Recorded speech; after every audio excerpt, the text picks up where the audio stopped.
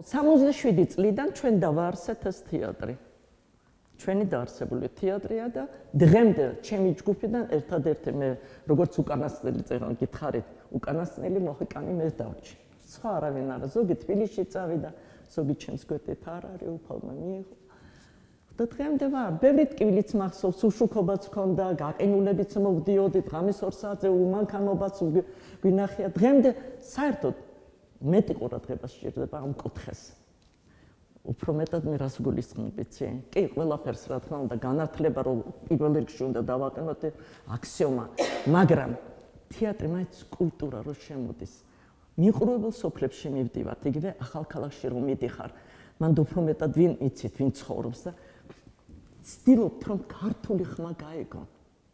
ცოტას ნიშნავს ეგა? ჩემი საყვარელი როლები ძალიან ბევრია. თავარი როლებიც მითამაშნია, ეპიზოდებიც მითამაშნია. ჩემთვის ყველა როლი არის სულიერი ჩემი ცხოვრება. სხვანაირად მე არ შემიძლია. არის ხოლმე შემთხვევები, კარგი ეს ბოლო წლები მე გადავიტანე ინსულტი და 1-2-3 წელი მე არ მეუშავნია, მაგრამ ხელფასაც მაძლევდნენ და მოვდიოდი რაღაცები იყო და კარგა ხანი არ მეუშავდა. ბოლოს მე ახლა გადაგდებული პორტრეტი ვითამაშე. და აღფრთოვანებული ვარ მაგ როლით, იმიტომ ყველამ ძალიან ლამაზად მიიღო. ისე მიმიღეს, რომ ვითომ გუშინ ჩამოვედი და ახალ სცენაზე გამოვედი.